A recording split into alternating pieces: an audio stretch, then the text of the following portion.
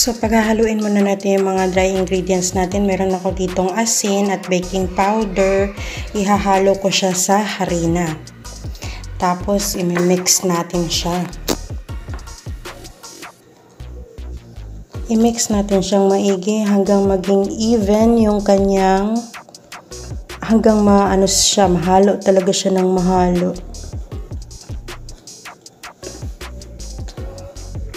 And then we're going to leave this one aside.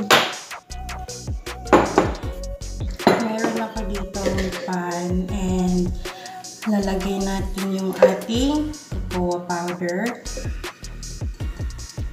Tapos yung ating sugar.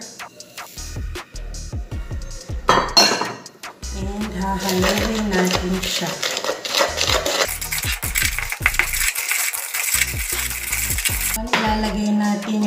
Ating cooking oil.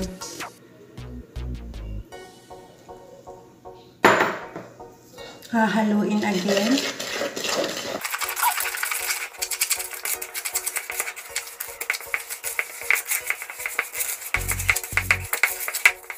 So, ayan, halong-halo na yung ating oil sa ating cocoa and sugar. Ilalagay naman natin yung ating itlog.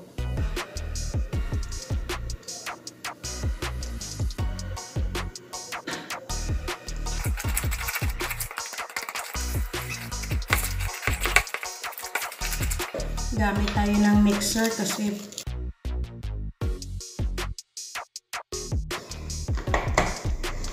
Yan, halong-halo na yung ating lalagay ko na din yung ating vanilla sa ating dry ingredients.